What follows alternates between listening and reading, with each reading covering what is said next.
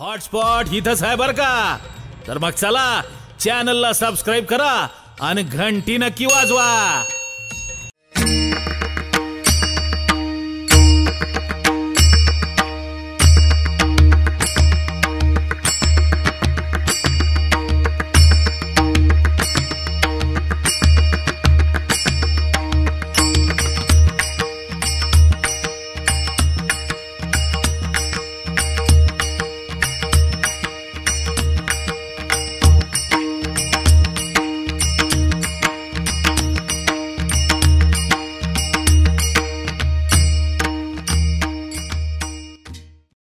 चाललंय हे.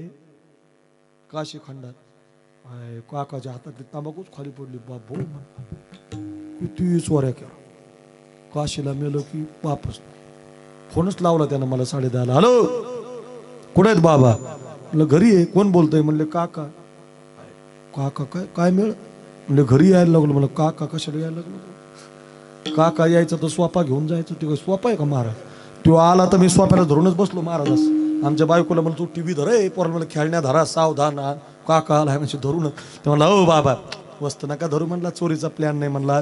मार्ग विचारायला आलो. तुमचे लय मित्र आहेत आळंदीला वाघुंडे महाराज तिकडे ते गाडे जळगावला ते भगवान महाराज जामखेडकडे तिकडे ते आमचे तुकाराम महाराज करमाडला अशोक अण्णा मसल्याला इकडे मुरलीधर महाराज लय दोस्त आहेत राहू तसा एखादा मित्र आहे का शिला म्हणलं आहे ना? द्या म्हणला पत्ता आपल्याला त्याचा म्हणलं काय मिळ म्हणलं ते गावात पोथी चालू आहे ना? त्याच्यात ऐकलं म्हणलं एखादा माणूस जर काशीला मेला तर त्याला चोरीचं पाप लागत नाही. म्हणलं अण्णा तुम्ही गावात कोणाची सोयरीक होऊ दिली नाही राव काका. हो काका. तुम्ही गावात काहीच होऊ दिलं नाही. तुम्हाला असतं वय म्हणलं एवढं लवकर? नाही नाही म्हणलं त्या पत्ता तुम्हाला बाकीचं काय करायचं? लाव पंढरपूरला जा. सकाळी सात वाजता गाडी आपल्या गेवरा येऊन नाही नाही म्हणलं तुम्ही पत्ता द्या बरं. म्हणलं नाही ऐकायचं बघ दिला मी पत्ता. कशाचं जाईल पण ते? शास्त्रीचाच फोन आला मला काशून म्हणलं तुमच्या गावाचे कोणीतरी काका आले म्हणलं जरा जपून राहे जपून राहे तो हे पुस्तक आणील. म्हणलं सारे ती सहा महिने तिथं राहिला हे काका. बदामाचा शिरा आणायचा जिलेबी आणायचा आजच्या उन्ही गुलाबजाम आणायचा बमची बम झाला. मरायला गेलं आणि सुधारलं महाराज. माहितीच नाही कुणाला. आलं गावाकडं सुनानं चहाचा कप दिला बशीत वाढायला लावली. चहाचा फुरका वाढायला गेला ना आटा गाला आणि जाग्यावर मेला. मरायचं कुठं होतं? काशीला मेला कुठं? गावात आमच्या गावातल्या बाळूंनी फोन लावला हॅलो बाबा काका गेली. काशीला? नाही नाही म्हणले गावात. मग आम्ही आपली दहा पाच भजनी गेलो त्याची ताटी बांधली. तिथे गेल्यावर माहिती झालं मला चार पोर त्याला. कुठे डॉक्टर आहेत. म्हणलं हा? चोऱ्या करून डॉक्टर झाले. म्हटलं हो लावा. लावले फोन तर तिघं पोरं उचलेनात एकानं उचलला ते होतं तिकडं कोकणात. हॅलो गावचा महाराज बोला. म्हणलं काका गेले कसं काय? जीव गेल्याचंच निमित्त झालंय निघा. निघा निघा. आता पोरग येऊस तर आपल्याकडे पद्धतीत चौरंगावर मड बसितात सहा इंचाचा खिला ठोकतात रुपयाचा ठोकळ्या शेणाचा गोळा आगरबत्त्याचा घमघमाट दहा पाच माथाऱ्या रडायला. असतं ना तुमच्याकडे? लय भारी मार रडणं तो लय भारी. ब्रेक के बाद ब्रेक के बाद ब्रेक के बाद त्याला जाहिरात राहते जाहिरात. तिकडून गाडी आली इकडून गाडी आली. कार्यक्रम चालू आहे. कोणाची गाडी आहे काही मिळणं नाही. गाडी वाजली की पदर घेतला की सुरू होता. आता सगळीची जिपकार. अरे येऊन तर दे ना पोरगी आली की रोड रोडायला सुरू झालो. रात्रभर आम्ही ते रडणं ऐकलं पाठ पोरग आलं डॉक्टर करा म्हणलं तयारी करा. लोक ताटले ते म्हणलं हे आमच्या बापाला असं लाकडात जाळीत असतात का? म्हणलं मग कशात जाळायचं? अ आमच्या काकाला काशीला न्यायचं म्हणलं. म्हणलं पागळेस काय? आपल्या बिडून काशी तीन हजार किलोमीटर आणि एवढ्या लांब खांदा कोण लावेल? खांदा खांदा. ते म्हणलं आपण रोजाने नेऊ. रोजाने नेऊ म्हणल्यावर माझ्या डोक्यात प्लॅन आला नेमकं जून महिना लागला होता. आणि जून महिन्यात आमच्या सप्त्याची पट्टी पडत आता जे सुरू झालंय शिवरात्रीपासून तर बंदच नाही नाही. जून महिन्यात बंद होतं. जून महिन्यात साखरे महाराज काय मसलेकर महाराज काय वाघुंडे महाराज काय भगवान महाराज काय तुकाराम बाबा काय सगळे रिकामेच असतात. मी लावला फोन भगवान महाराज हॅलो. कुठे आहेत ते? म्हणले काय निवांत. म्हणलं या इकडे मोठा सप्ताह आलाय दोन तीन महिन्याचा. म्हणलं हा? जून जुलै म्हणलं हो. तुम्हाला काय करायचं? म्हणलं तीन हजार रुपये रोज आहे. आलोच? म्हणले. म्हणलं एकटे येऊ नका ते वाघुंडे महाराज आणा तुम्ही बरेच दोघं जण जोडीला जरा. ते दोन मी एक तीन आणि आमचे तुकाराम महाराज चार. कशाला दुसरा घ्यायचा आमचे आमचे? बरे बरं का. चौघ जण आलो. ते म्हणले कडे सप्ताह आहे का? म्हणलं याला खांदा लावायचं. काय राव? म्हणले आम्ही एवढे मोठे गाय एकत्र राव. म्हणलं अरे तीन हजार रुपये रोज आहे. अरे मग बरं जाऊन जाऊ दे दोन तीन महिने. लावला खांदा मी पुढं ते पोरगं पुढं आम्ही मागं.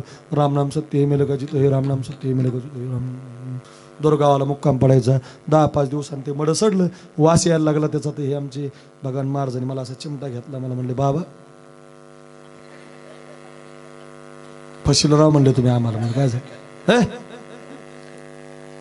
झालं काय? असं असतंय का? म्हणजे झालं काय? म्हणजे फशीला राव म्हणले जा काकाला उचललं तेव्हा काय वास होता का काय? तीन हजार दिले ते आता तीन हजारात वास घ्यायचं काय म्हणलं तुमचं म्हणणं काय? ते म्हणले पाच हजार. म्हणलं पण पाच तर पाच बाबा घ्या वास. कस तुले बा थांबून कस तरी पाच हजार लावला पुन्हा खांदा निघालो पुन्हा आता काय झालं बरं का? ते भजनी मंडळ थांबलं बरं का? तो गावचा चेक पाटील आला. ए देव बाप्पा उचला मॅडम. आमच्यात काय कोणी देवबाप्पा नव्हतो म्हणलं पाटील देवबाप्पा कसं काय म्हणले ते? म्हणले तुम्हाला शेंडी नाही का? सध्या लोक शेंडीला आणते ना म्हणते आणते ना अय एक पोरगा मला जालण्याच्या बस स्टँडला म्हणला होता एकदा बाबा कुठे तुमचा आज आणती ना म्हणलं तो ह्या बापाच्या माडीवर शान आहे. काय लोक आहेत महाराज. आणते ना म्हणतात लोक आणणं खोटं नाही माझं. उचला म्हणला म्हण आता लय अवघड झालं लोक गावात थांबून द्या ना नदीला मुक्काम पडला. पाचच किलोमीटर काशी राहिली आणि ते काकाच्या अंगार असं फडकं झाकून टाकलं. पोरगरिष्ठ हाऊसला झोपायला गेलं. भजनी मंडळ लिंबा झाडाखाली मी एकटाच राखन मुकादम ना मी. एकटाच राखण. साडेतीनला मला झोप लागली दुसऱ्या दिवशी माती करायची होती आता काकाची. सगळेच आम्ही झोपेमध्ये गेलो तेवढ्यात काय झालं? काशून एक येडं चलत आलं. त्याला अशी लांब दाढी चुकून चलत आलं. थंडी सुटलेली होती आणि त्याला अंगार घ्यायलाच काही नव्हतं. त्याने ते पांघरून टाकलेलं काकाचं मढं पाहिलं आणि येडं काकाला म्हणलं चल एक मला पांघरायला. गाड येडं म्हणलं आता. काका कुठं देत असतोय काका गेला ना महाराज. जसं काका द्याय ना म्हणल्यावर त्यांनी सोडल्या सुताळ्या महाराज. जशा सुताळ्या सोडल्या आम्ही सगळे झोपीत त्याला काका ढकलून. येडं घुसलं त्याच्यात.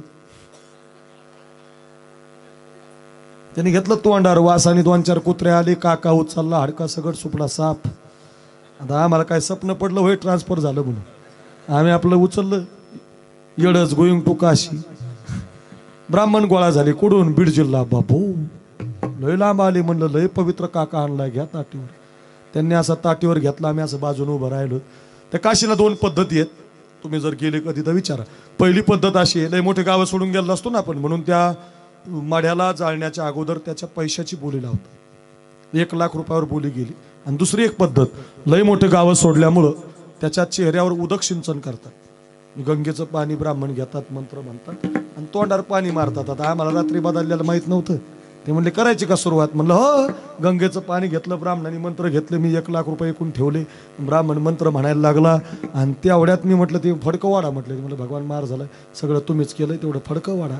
हे वर चढले आणि फडकं ओढलं तर उडीच मारली खाली. बाबा घोटाळा झालाय राव.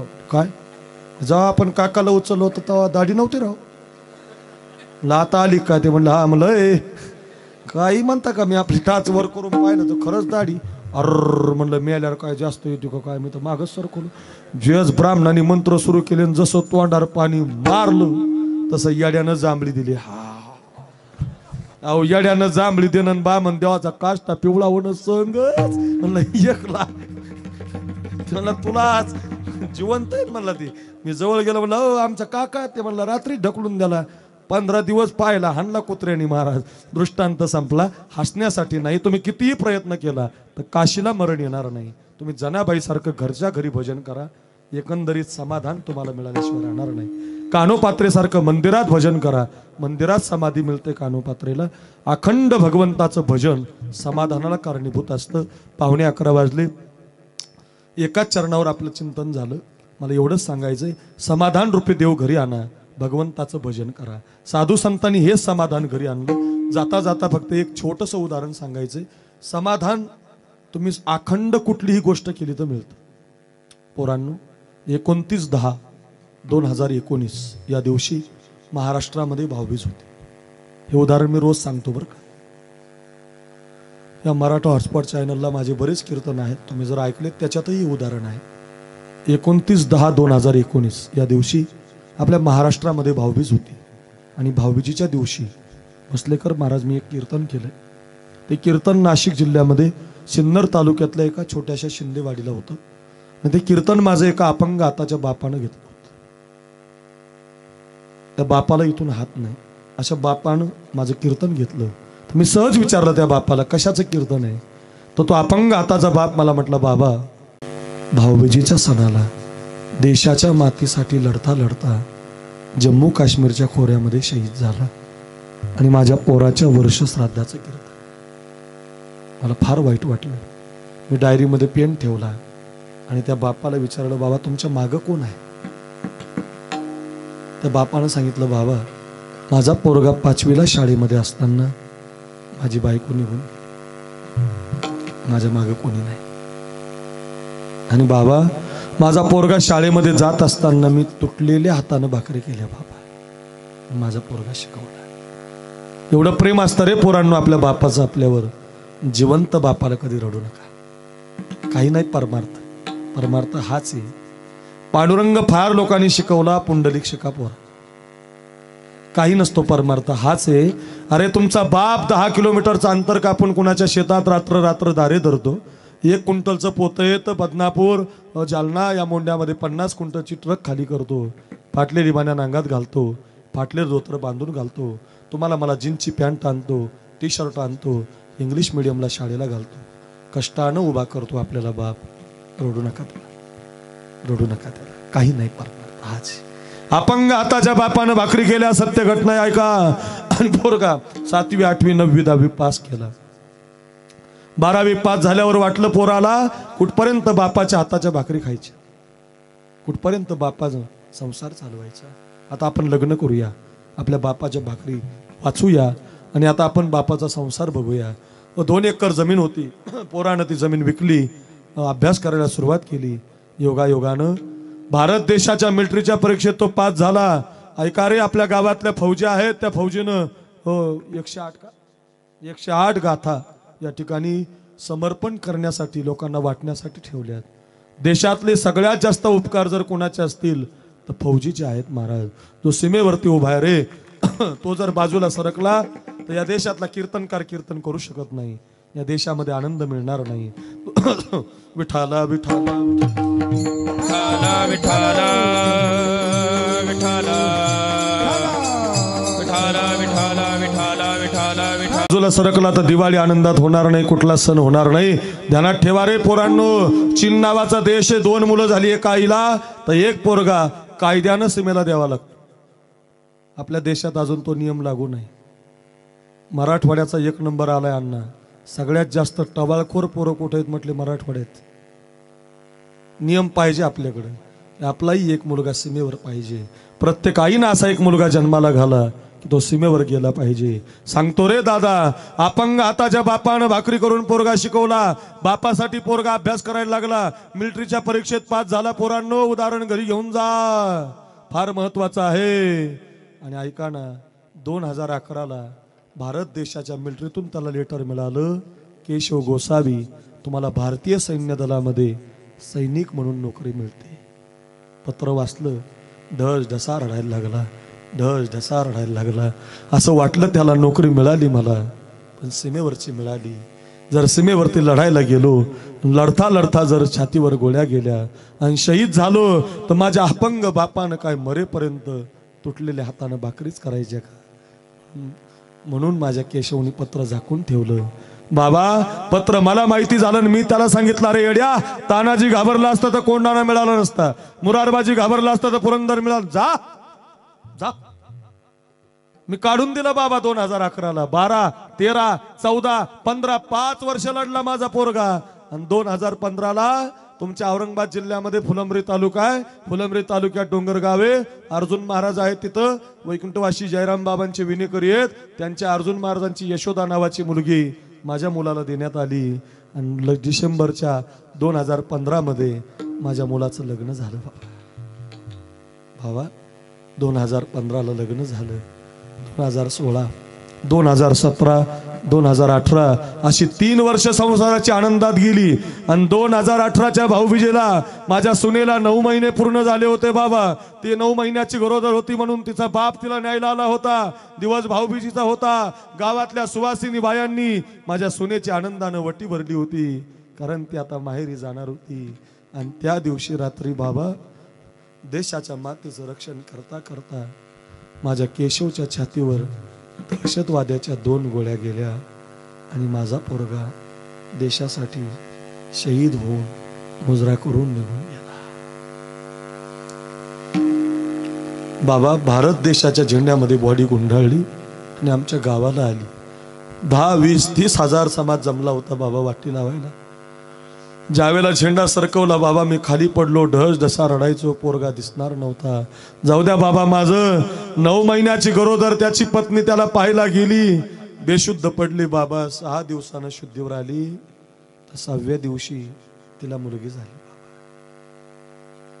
कपाळाचं कुंकू निघून गेलं बाबा तिच्या अपंग हाताचा सासरा पदरामध्ये पडला आणि एक मुलगी आहे बाबा.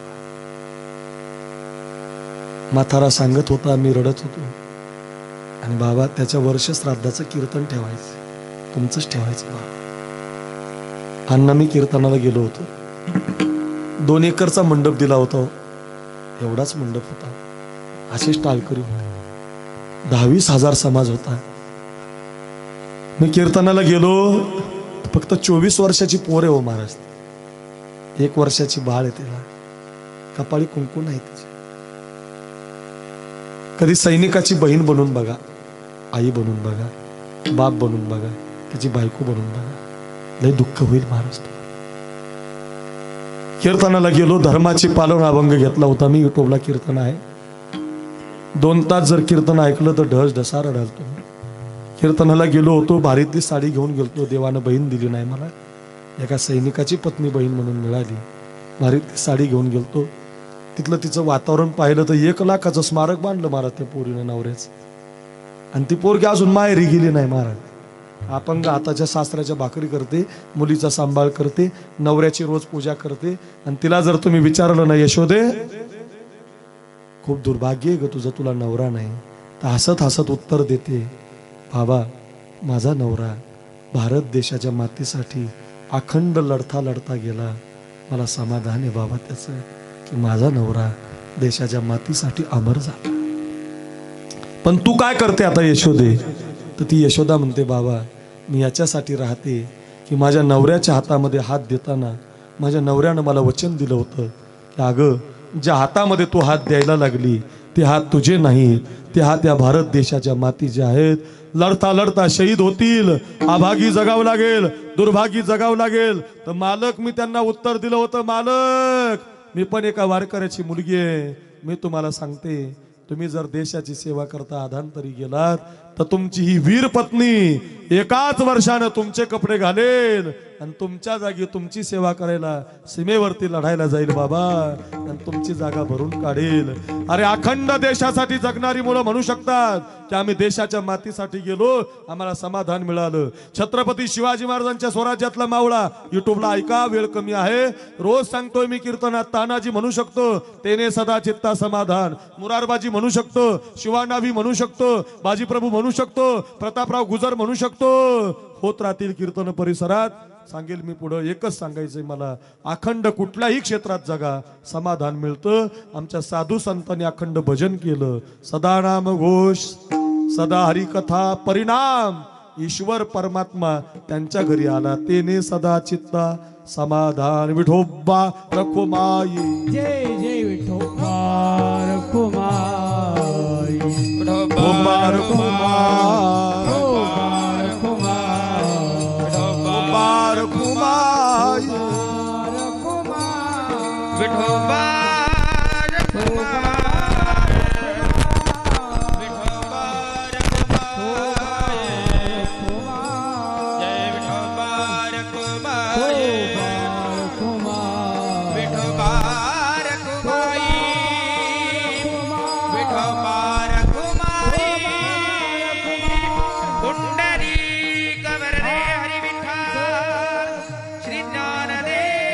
हॉटस्पॉट इथंच आहे बर का? तर मग चला चॅनलला सबस्क्राईब करा आणि घंटी नक्की वाजवा?